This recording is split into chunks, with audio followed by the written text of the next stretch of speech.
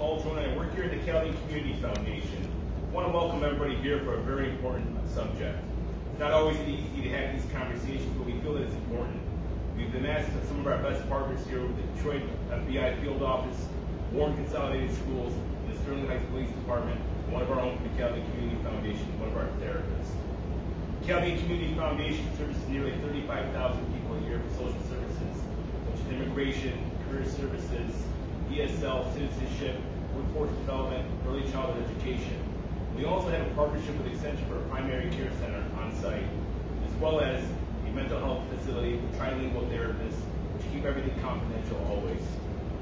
I'm excited today to have this conversation. It's something that we should all be doing as parents, friends, families. The internet is around all of us, and sometimes we don't always know who's in the internet.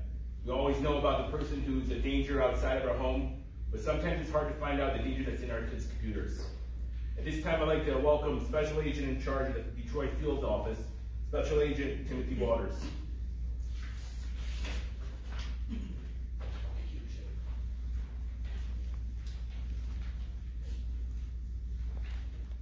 Good evening. I'm uh, Tim Waters. I'm a special agent in charge here for the FBI in the state of Michigan. Uh, first, I'd like to thank Paul and the uh, Community Foundation for the opportunity to be here tonight to speak about this very difficult and sensitive topic. But I believe it's important to have these difficult conversations now so, so that none of you end up as a victim as, of, of this crime down the road. It is important for young people and their caregivers to understand that predators can victimize children and teens in their own homes through devices they use for gaming, for homework, to communicate with your friends.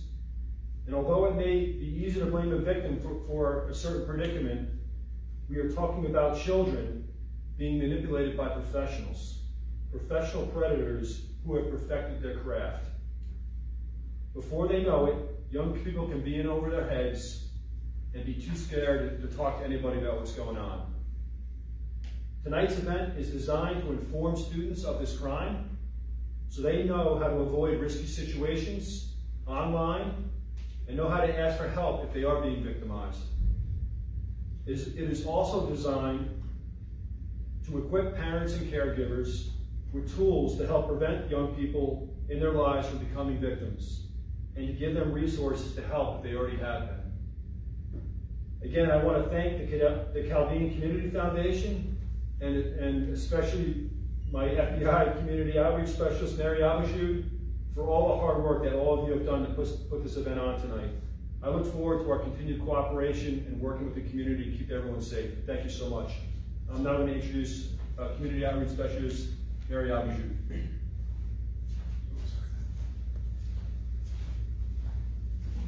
Good evening, everyone, and thank you so much for joining us for this very important informative session. Um, we intend for this program provide tools and information for parents and caregivers to keep children safe. Open dialogue between parents and caregivers and their children are quite critical at this time because children have a constant online presence for a number of reasons, which we will discuss.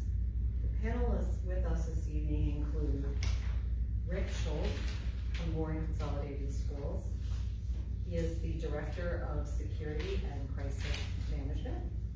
Detective Lisa Pappas from the Sterling Heights Police Department. Special Agent Adam Christensen from the Detroit FBI Field Office. Victim Specialist Melissa Novak from the FBI Detroit Field Office. And Social Worker with the Chaldean Community Foundation, Jackie Raxter. The panelists here are going to share their collective experiences in keeping and protecting children safe from being manipulated by a predator online. We recognize that this is a deeply sensitive and uncomfortable conversation.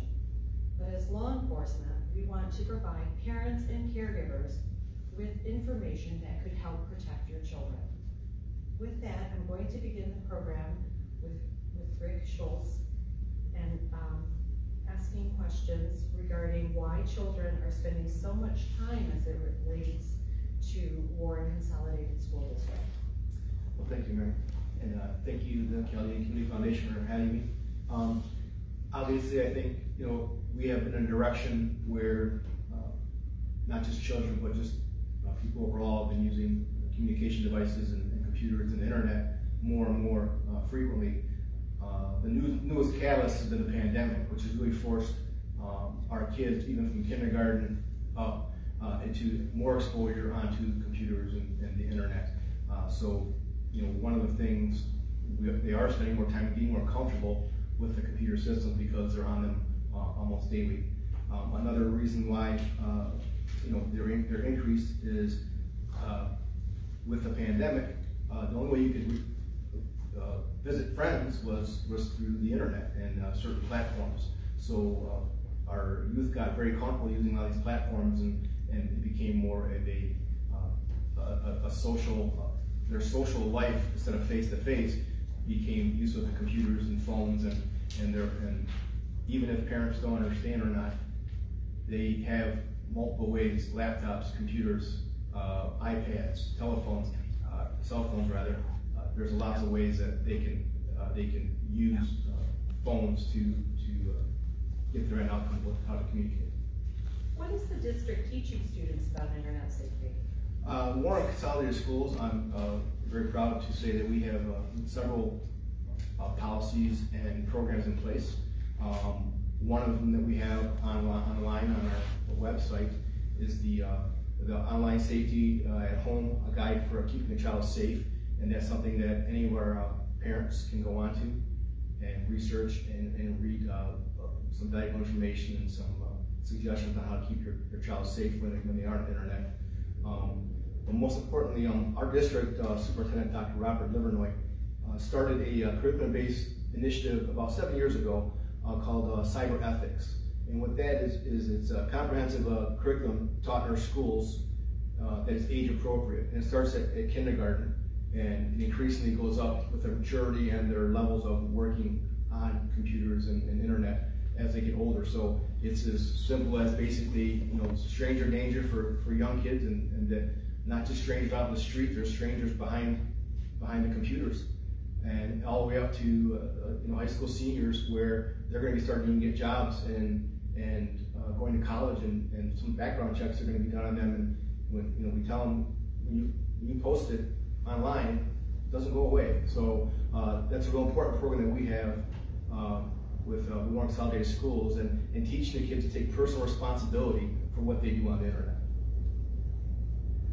What is expected of parents while their children are online from all ages? what we, what we see is it's, it's, it's very tough, um, it's a tough transition for kids and parents uh, when we move from the, the pandemic era to education online.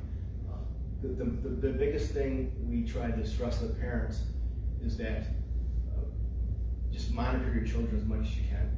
Um, make sure, you know, they're going to get a lot of information from a lot of other, other kids and peers about platforms. Make sure that you're not if your child has to be on a platform, if they can have an account on a certain platform, make sure that it's age appropriate for that child. That's the most important thing.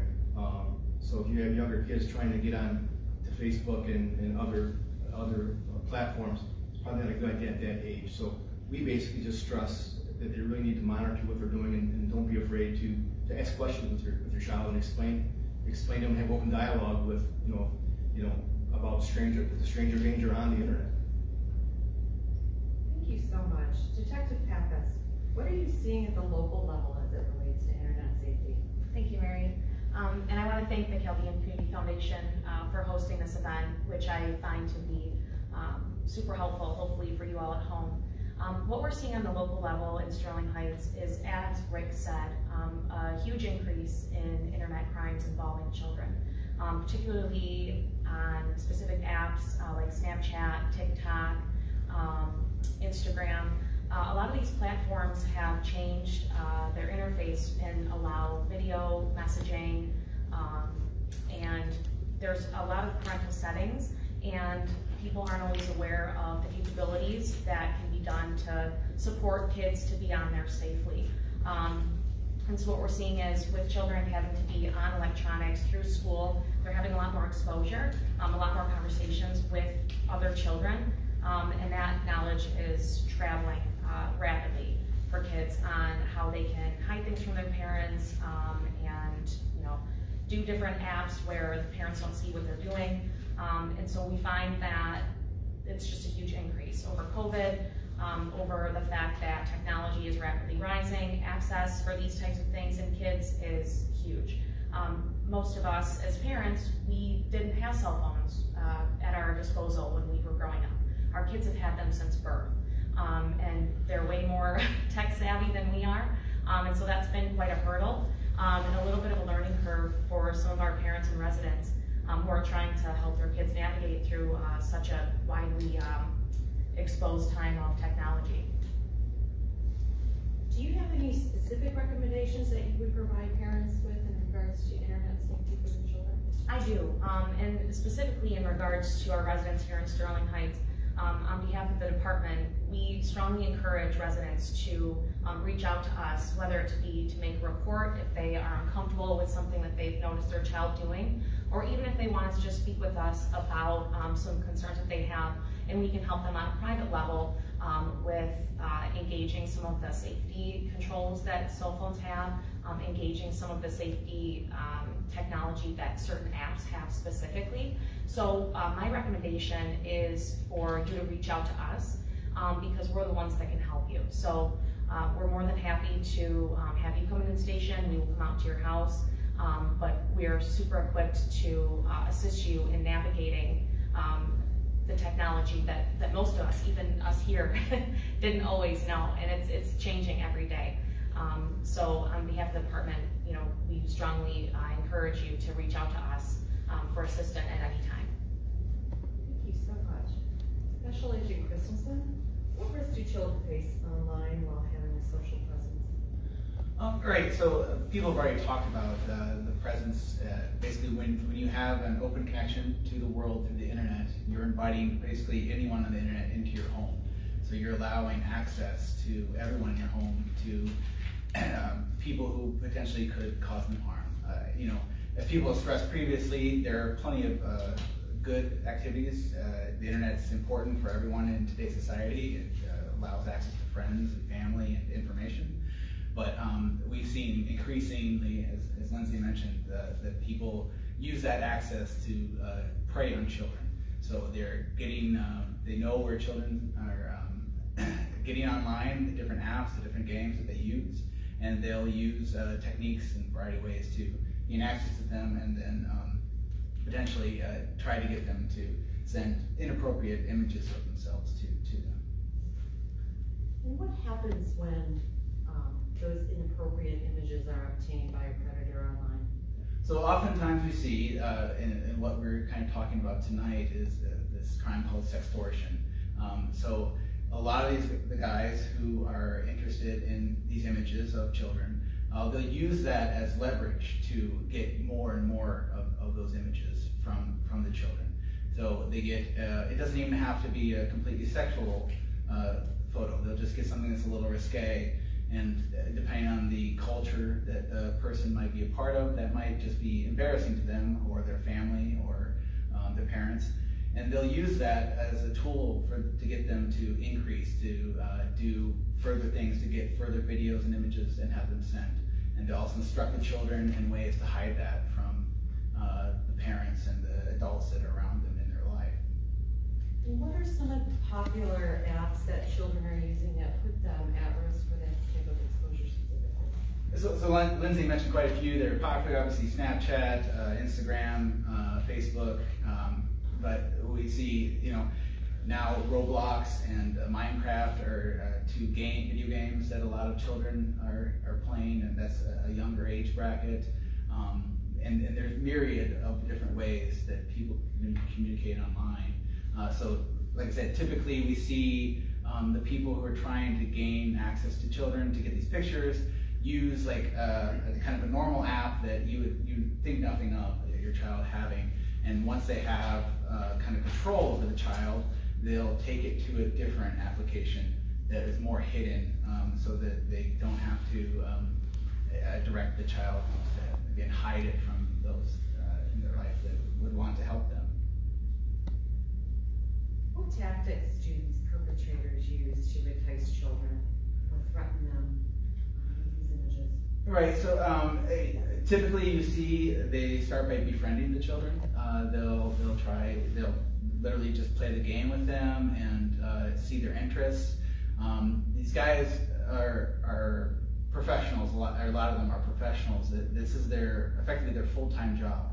This is their main interest in life, and they're going to take all the time they need to direct them. So they will. Uh, they'll they'll communicate and befriend the person, and then um, and just kind of little by little reel them in to uh, get to get the you know do a little comment that might be a little sexual in nature, see how the child reacts, and they're also targeting particularly the children that are um, you know have, have lower defenses, have you know don't have the social capabilities or friend as many friends um, in real in uh, in person. And they'll try to get those target those or they the press particular um, so they look they know who to target um, and and uh, who's kind of weak as far as that that goes.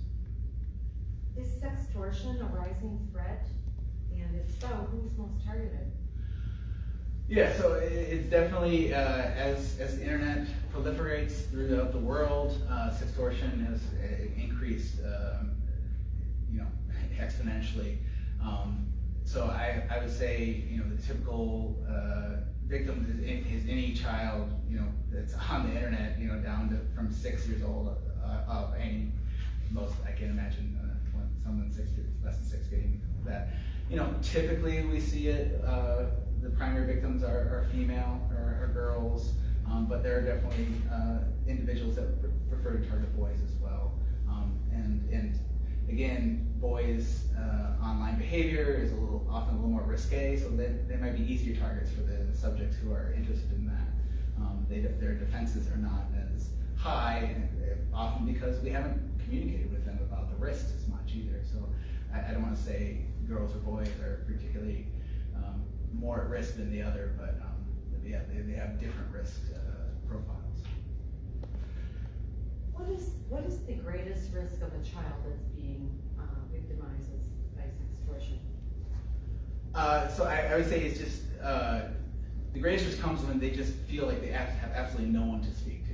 Um, the, the, only way that, that, the children really can get out of of, um, of this situation is if they can speak to uh, you know hopefully a parent or an adult that they they trust um, and, and that person can kind of short circuit uh, the cycle to get out. Um, you know, unfortunately, I've, I've worked with uh, numerous parents who, who, the child end up, you know, um, killing themselves. So that is a definite potentiality uh, for, for children who just feel absolutely stuck and don't have a way out of the situation.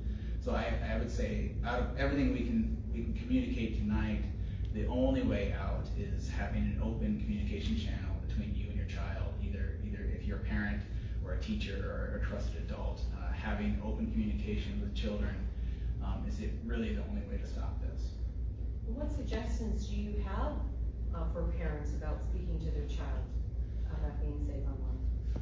Uh, I, I, would say just having that uh, constant open communication over time uh, to see, you know, what they're doing online, what kind of apps they're doing, um, just really reiterating to them over time that um, if something says somebody says something to them online that makes them uncomfortable, it's best to just communicate that with the parent.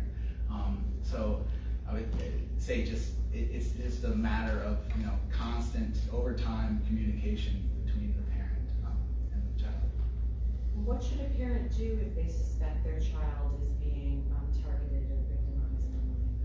Uh, I, I, would say contact law enforcement. So whatever law enforcement you feel most comfortable contacting, whether that's local, uh, like the Sterling Heights Police Department, or coming to us at the FBI. Um, we have a tip line, the 1-800-CALL-FBI, that people are more than welcome to call in tips. And that's really the fastest way to get information to people like me throughout the country. Um, you know, obviously, uh, local law enforcement has a lot of uh, work to do. There's just a lot of work to go around everywhere. But a lot of these situations, the uh, subject is not, you know, not in the same city, not in the same state, maybe not even the same country. Um, we see consistently uh, subjects all over the world targeting uh, Americans because that's the victims we're, we're going to see. But Americans uh, are children seem to be more online than many other children, and so they, uh, you know, they tend to have we tend to have a higher proportion of victims as far as that goes. What should parents not do if they find images on their child's electronic device? So I, I would say if, if, if you are going to report to law enforcement, which I would strongly encourage you to do, because um, you're not just the person is not just targeting your child; they're targeting many children. It's, it's very rare for a subject to only target one particular child. Um, so say, you know, don't delete it. The impulse is there is going to be incredible for you to just get rid of those images, to get rid of the chats with the guy, tell him, you know, we see constantly parents get on and tell the guy, you know, you know, this is my child, leave him alone, don't ever talk to them again. Um, that impulse is incredible. I, you know, that's protection of your child, and I can completely see where people are coming from as far as that goes. But if you if you think about it, if you can control yourself, I would say save it. Um, don't delete it. Uh, bring it into law enforcement because that's going to be the evidence that we can not only help your child but many children because uh, we want to get as many of these people uh, off the street as we possibly can.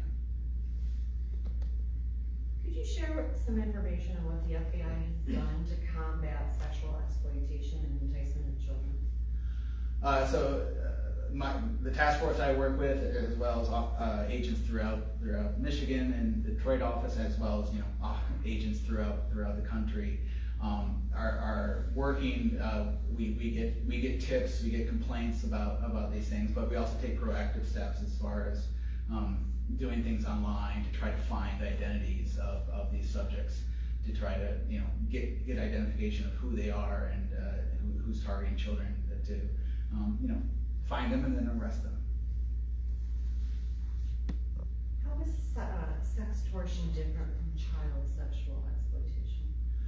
Uh, so I would say, you know, sexploit, sextortion is uh, one subset, some subset of, of child sexual exploitation. So it's it's generally it starts with child sexual exploitation, and that's where some of the subjects will stop. They'll they'll get a child to produce the images that they they want, and then they, they'll move on to the next child. And, and we see that with uh, quite a few subjects.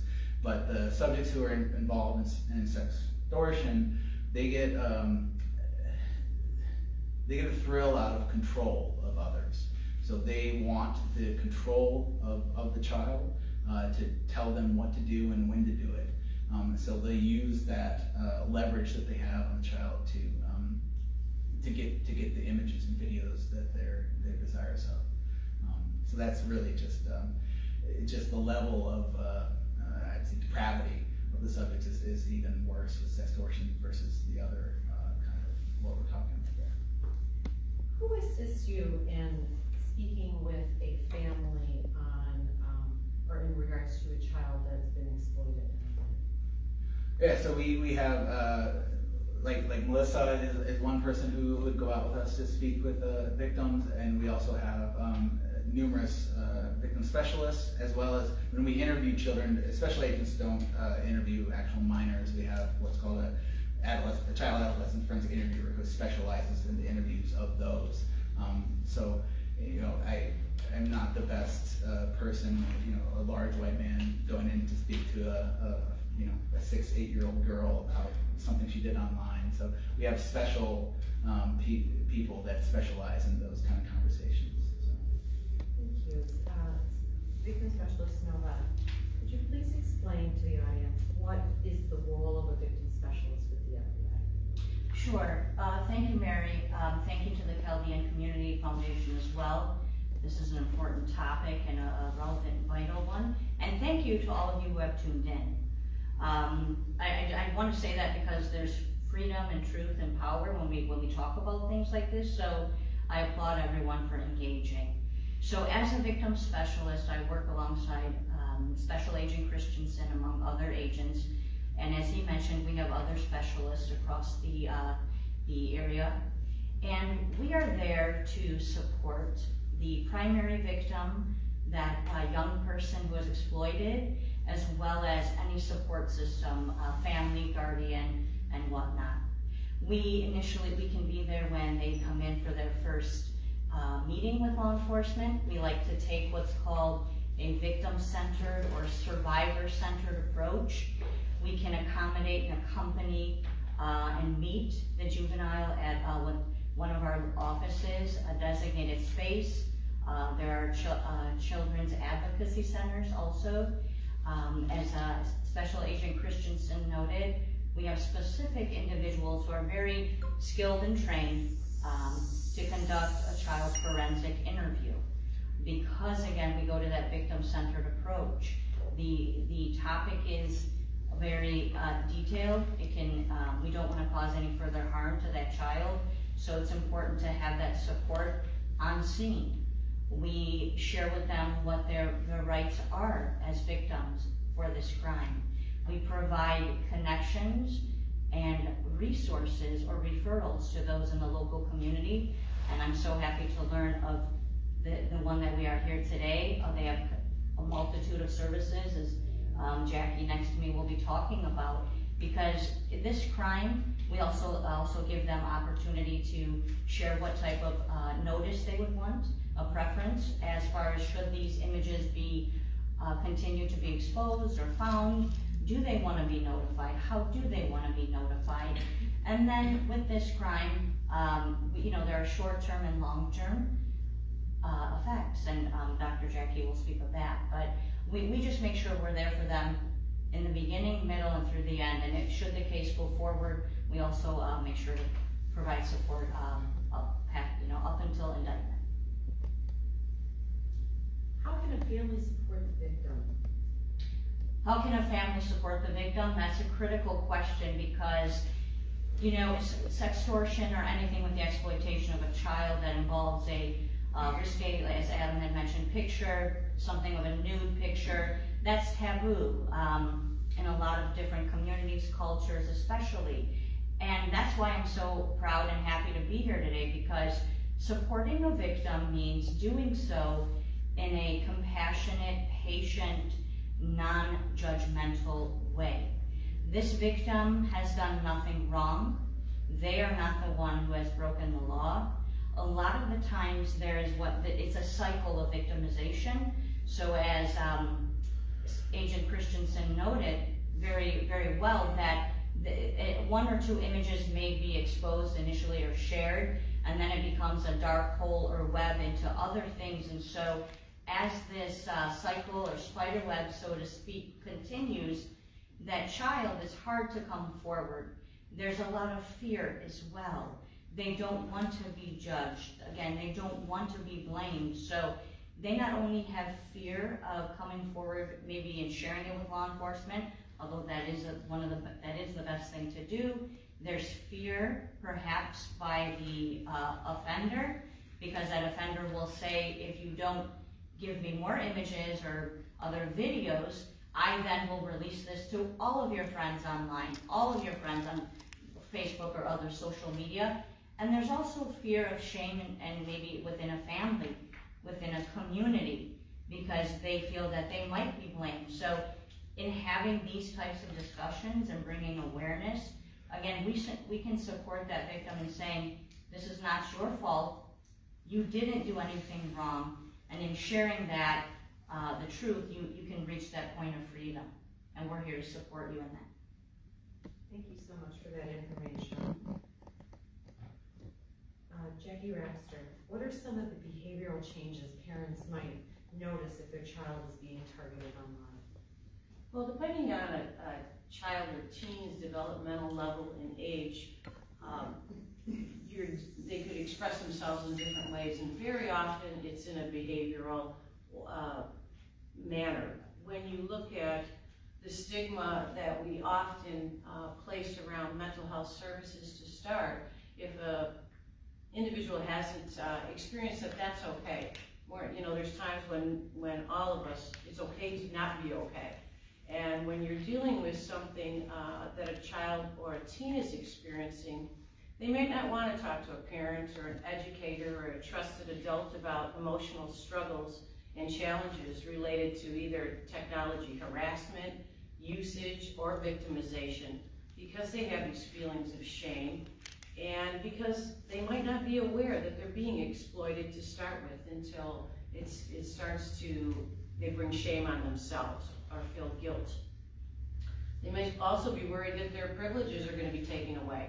So they don't want to tell anyone um, about what I'm using or doing on my phone because I might not have access to my device anymore. So parents really and uh, guardians, trusted adults, I would really encourage to start those conversations very early on and continually dialogue with your children and your teens based on you know their developmental level uh, about boundaries, about usage and responsible usage of um, devices, whether that be their telephone or their the internet, and stay involved with what they're doing. So, um, uh, like someone mentioned earlier, uh, it's the kids have been exposed to this a lot earlier than a lot of our adults. So you need to um, stay on top of what's going on with them. Whenever you see um, a child being victimized or hear of a child being victimized, it can be really difficult to spot what's going on because the perpetrators take such drastic steps to hide their actions. And it's important that we don't allow shame, blame, or stigma to complicate the recovery because that's one of the biggest barriers to recovery in any mental health situation. If you have severe, long-lasting cyberbullying or victimization, it can lead to anxiety, depression, and other stress-related disorders. So keep talking to your children in age-appropriate ways and be an active listener. If they know that they can come to you with a small challenge, they're more likely to be open when they have a bigger distress because they know that you that you care and, and, and you, you're there and they can come to you when you're distressed. You might see physical warning signs if someone's actually been um, physically approached and that can sometimes be a red flag that you might want to um, notice, you might notice trauma to genital area, unexplained bleeding or bruising.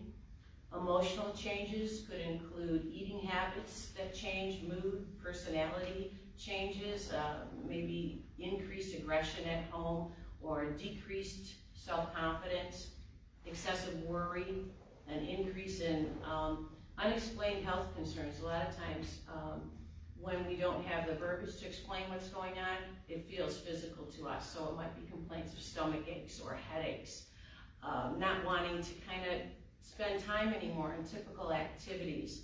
It's, it's often about change or being afraid to be alone um, at night, evidencing self-harm behaviors.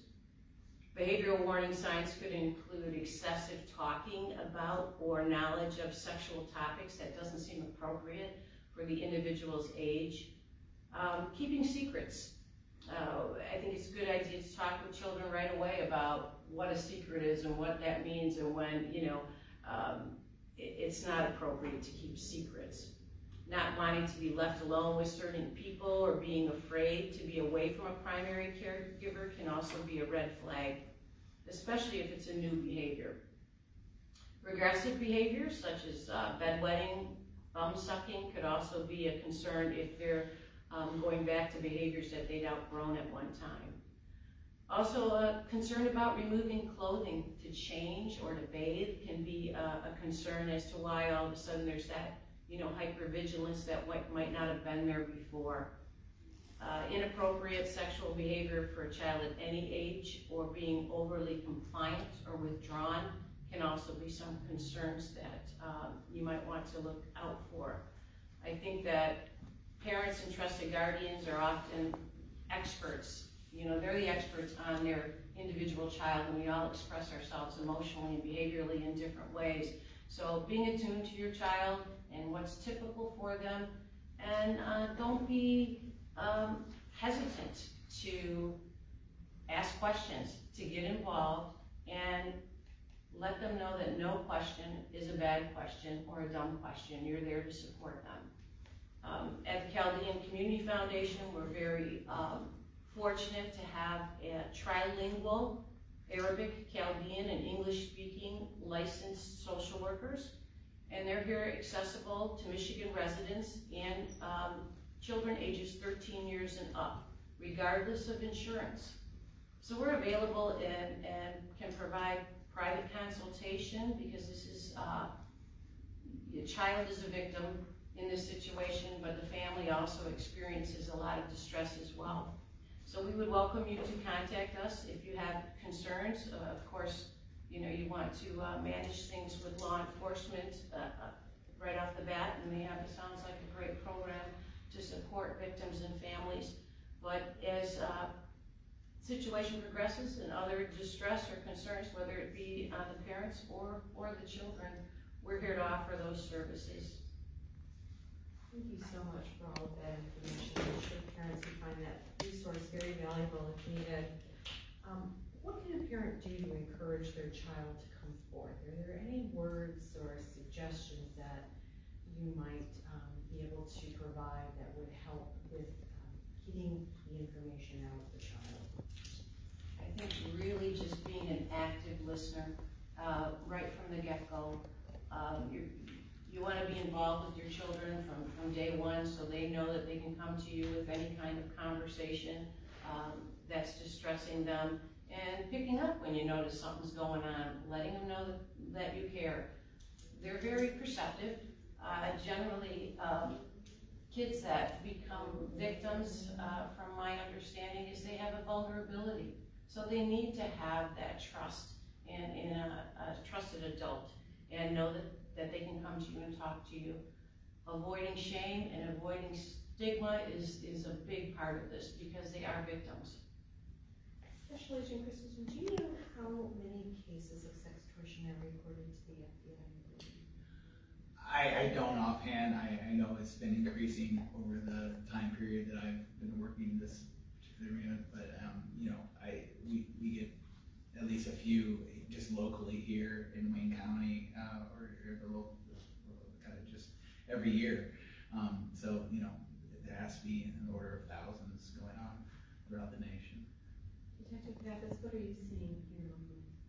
Um, locally, we are, like I said earlier, seeing an increase um, in those cases specifically. Um, but I would probably say we get active cases monthly um, from our residents, and so that's obviously concerning. Time, we're going to take some questions that have come through um, the Facebook chat. Yes, I do have a question. Um, this is a question from a uh, student. Uh, they said, when you friend someone online, how much of, or how much access do they have to your information, personal information? I, I think it's going to be very dependent on what application you're, you're using as far as that goes. Um, so some like Facebook allow kind of settings to be changed to determine what can be shown and what isn't shown to, to, to friends. Um, but in general, it, when you friend somebody on an application, they're going to have access to your entire profile. So whatever you choose to put on the profile is going to be open and accessible to the people that uh, you choose to add as friends. So depending on um, your comfort level uh, and your age, you may want to think about whether you want to be adding friends that with people that you don't know in outside of the real world or in real life, physical space. Okay, another question is um, when a person is um, when they're going on to different websites and they put in their age and they don't put in an appropriate age because they're not old enough, uh, is there a difference between under age 18 or over age 18 um, in monitoring some of those IELTS? Again, it's, it, depending on the application you're using. Um, so uh, in the United States, we have the COPPA, the Child Online Protection Act, which uh, basically says that uh, companies have to be very protective of anyone under the age of 13.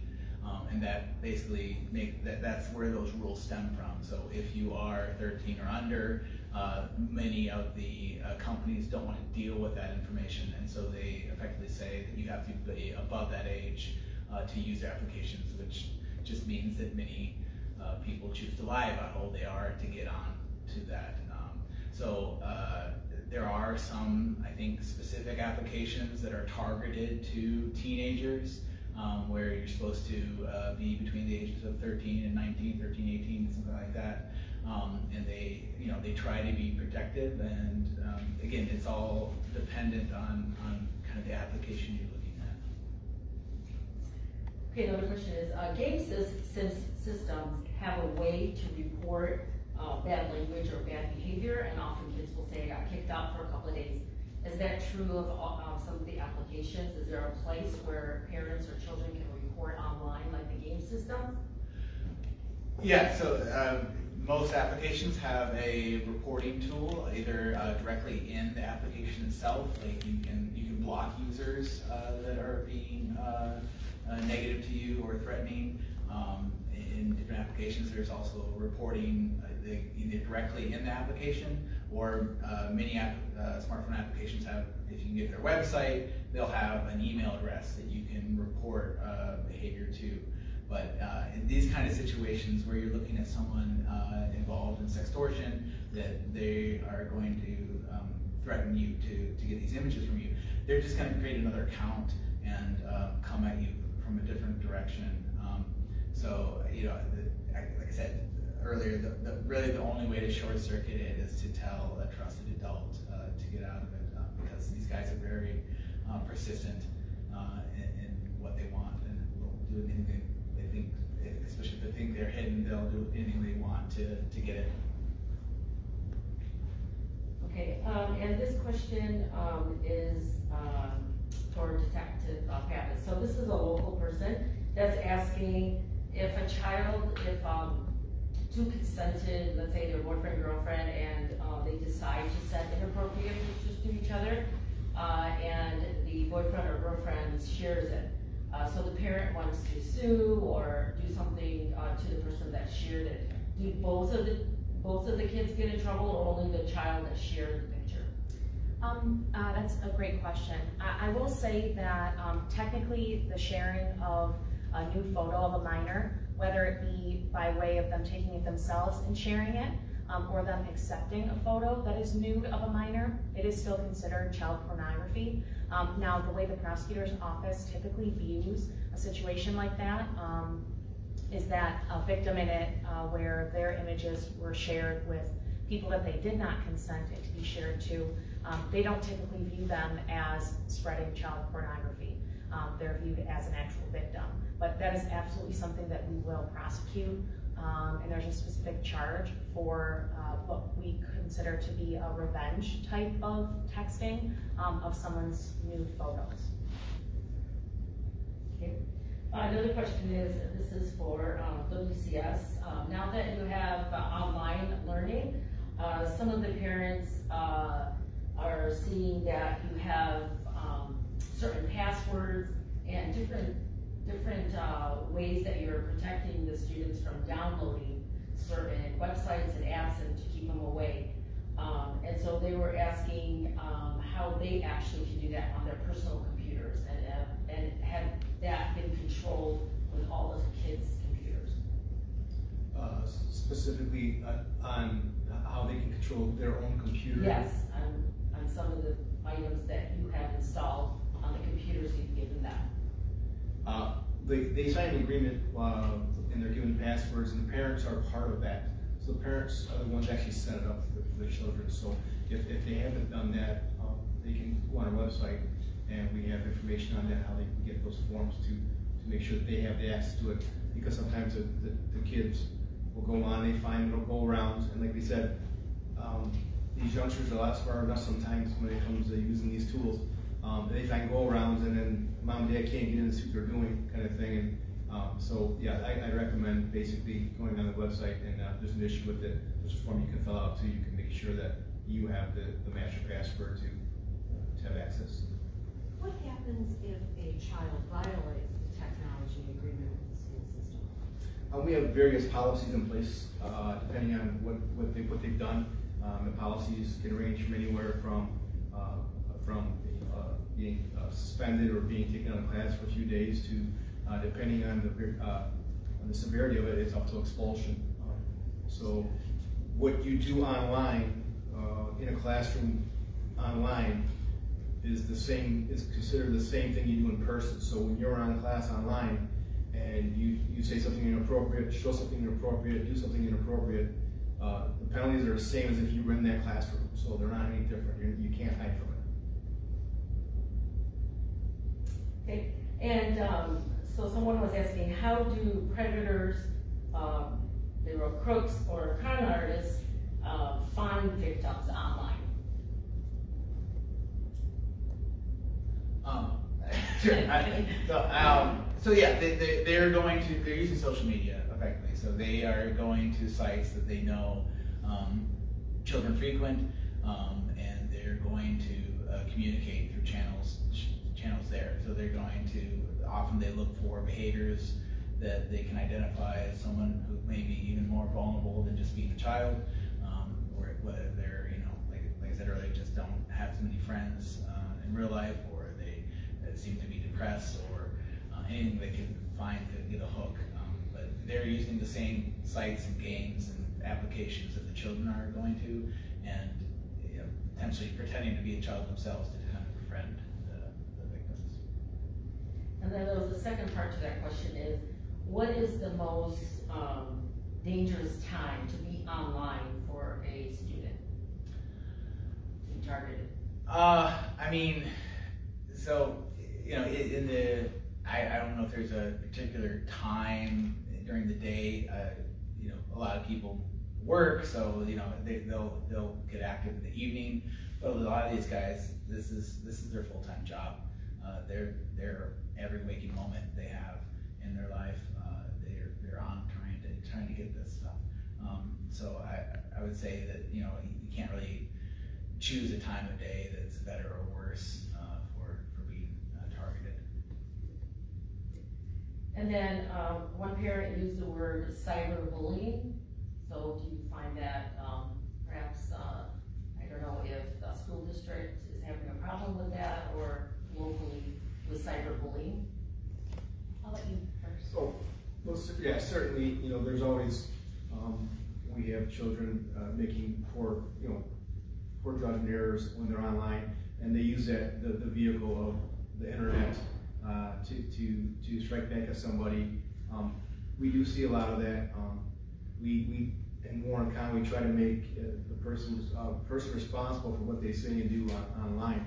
And, and we work in conjunction with the Sterling Heights Police Department and the Warren Police Department, um, and we don't, uh, we have a zero tolerance for that, um, where we, uh, we, we uh, work very closely with them, and I think it's pretty much known that we, uh, they think it's a minor kind of thing, um, but we do, we have to involve the police, take reports, and have them follow up. Uh, it doesn't always, always necessarily mean they're gonna be prosecuted, but we wanna make sure that our, our community is protected, and we go through all the resources we have to, to make sure they are protected.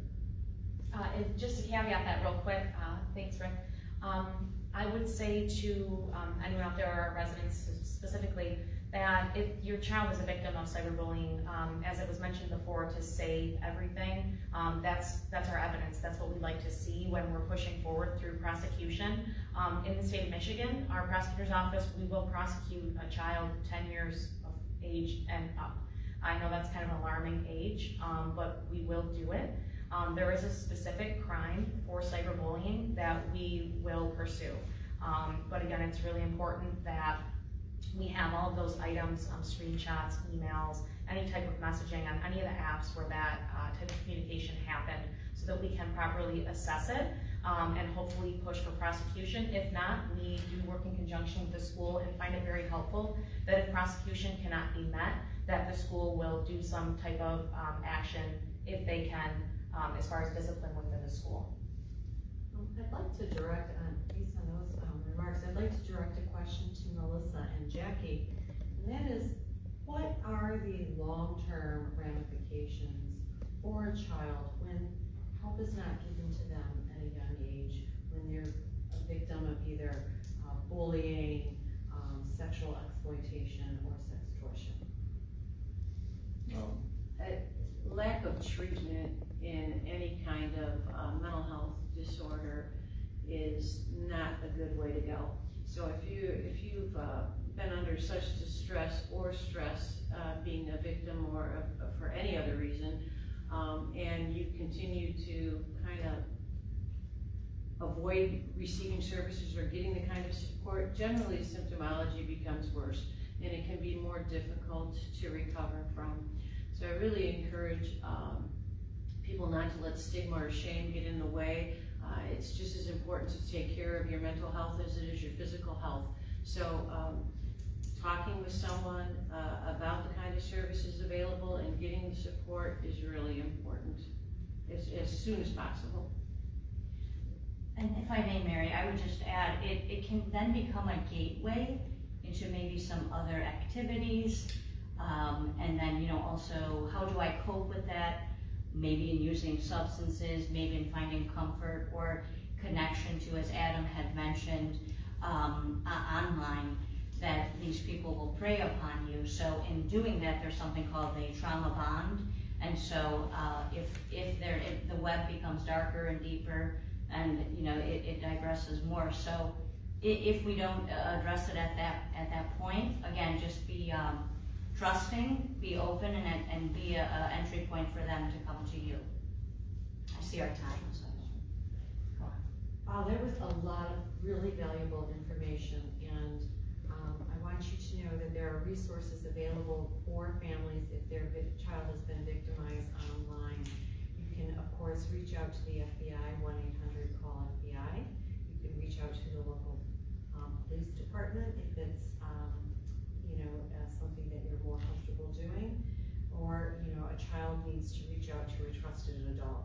We are here for you. There are services available for parents um, to help cope. It's, it's a, a lot on a family, and we understand that um, sometimes there's a stigma that perhaps shame may be greater than the um, actual act definitely not the case, and we hope that parents do reach out to get the assistance that their child needs. You can also find information on sex sextortion by visiting the FBI website at www.fbi.gov. Um, you can also reach out to our local office if you um, would like uh, additional information at 313-965-2323 and please ask to speak to community outreach um, I will try to provide you with additional information. With that, I'd like to turn the program back over to Paul Jenna.